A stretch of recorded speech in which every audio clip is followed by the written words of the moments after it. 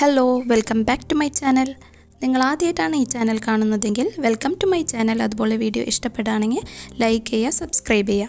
അപ്പം നമുക്ക് നേരെ ടോപ്പിക്കിലോട്ട് പോകാം. ജർബറ ചെടികളെക്കുറിച്ചാണ് നമ്മളിന്നിവിടെ പറയാൻ പോകുന്നത്. നമ്മുടെ നാട്ടിൽ സ്റ്റേജ് ഡെക്കറേഷനൊക്കെ ധാരാളം ഉപയോഗിച്ച് വരുന്ന പൂവാണ് ജർബറ. പല നിറത്തിൽ ഈ പൂക്കൾ നമുക്ക് കാണാൻ പറ്റും. Red orange yellow white peach pink ഇതൊക്കെയാണ് സാധാരണയായിട്ട് കണ്ടുവരുന്ന നിറങ്ങൾ. നല്ല ശക്തമായ സൺലൈറ്റ് കിട്ടുന്ന സ്ഥലത്തേക്കാൾ ഭാഗികമായ സൺലൈറ്റ് കിട്ടുന്ന സ്ഥലമാണ് ജർബറയ്ക്ക് ഏറ്റവും നല്ലത്. കാരണം നല്ല സ്ട്രോങ് ആയിട്ടുള്ള സൺലൈറ്റ് കിട്ടുമ്പോൾ അത് അതിന്റെ ഇലകൾ വാടി നിൽക്കുന്നത് കാണാറുണ്ട് ഇടയ്ക്ക്. അതുകൊണ്ട് പാർഷ്യൽ സൺലൈറ്റാണ് ഇതിന് ഏറ്റവും നല്ലത്. അതുപോലെ ഇത് നടാനായിട്ട് നന്നായി വെള്ളം വാർന്നു പോകുന്ന തരത്തിലുള്ള പോട്ടി മിക്സ് ആണ് തയ്യാറാക്കേണ്ടത്. അതിനുവേണ്ടി നമുക്ക് മണ്ണ് മണൽ ചാണകപ്പൊടി എല്ലുപൊടി എല്ലുപൊടി ഇല്ലെങ്കിൽ കുറച്ച് മുട്ടത്തോട് പൊടിച്ചതായാലും ചേർക്കാം. ഇത്രയും ചേർത്ത് മിക്സ് ചെയ്യുക. എന്നിട്ട് ഇതിലേക്ക് വേണം നമ്മൾ നട്ടു കൊടുക്കാനായിട്ട്. അതുപോലെ വേപ്പിൻ പിണ്ണാക്ക് നമ്മുടെ കയ്യിലുണ്ടെങ്കിൽ അതുകൂടി കുറച്ച് പോട്ടി മിക്സിലേക്ക് ചേർക്കുന്നത് നല്ലതാണ്. അതുപോലെ പോട്ടി മിക്സിൽ കൊക്കോ പീറ്റ് അധികം ചേർക്കുന്നത് നല്ലതല്ല. കാരണം അത് ഈർപ്പം നിലനിർത്താൻ സഹായിക്കുന്ന ഒന്നാണ് കൊക്കോപ്പീറ്റ് അതുകൊണ്ട് തന്നെ ഫംഗസ് ബാധ ഉണ്ടാവാനും അങ്ങനെ ചെടി ചീഞ്ഞു പോകാനും അത് കാരണമാകും അതുപോലെ ഫംഗസ് അറ്റാക്ക് തടയാനായിട്ട് പോട്ടി മിക്സിലേക്ക് ഏതെങ്കിലും ഫംഗിസൈഡ് ചേർത്ത് കൊടുക്കാവുന്നതാണ്. അതിന് നമുക്ക് സാഫ് എന്ന പേരുള്ള ഫംഗിസൈഡ് വാങ്ങാൻ കിട്ടും. അത് ഒരു സ്പൂൺ പോട്ടി മിക്സിലേക്ക് ചേർത്ത് കൊടുക്കാം.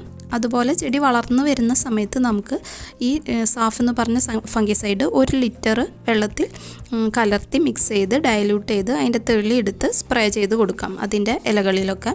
അപ്പോൾ അത് ഫംഗസ് അറ്റാക്കൊന്നും ഇല്ലാണ്ട് ആ ചെടി നല്ലപോലെ വളരാൻ അത് നല്ലതാണ്.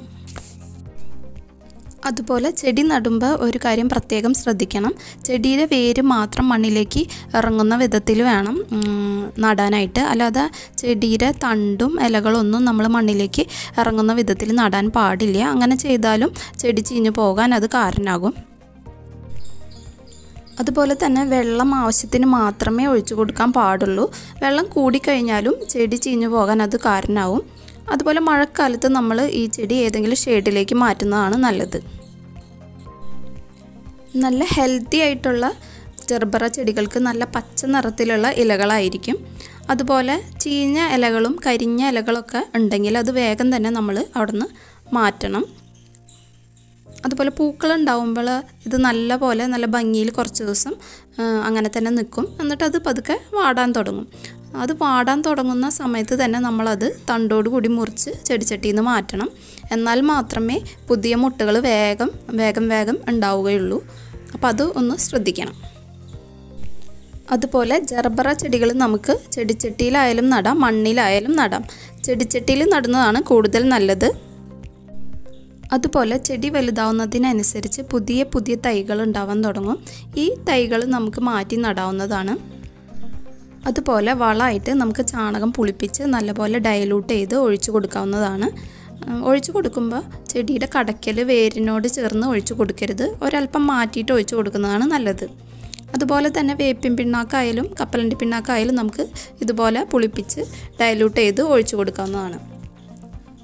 അപ്പോൾ ഇത്രയൊക്കെയാണ് ജർബറ ചെടിയുടെ കെയറിങ്ങിനെ കുറിച്ച് പറയാനുള്ളത്.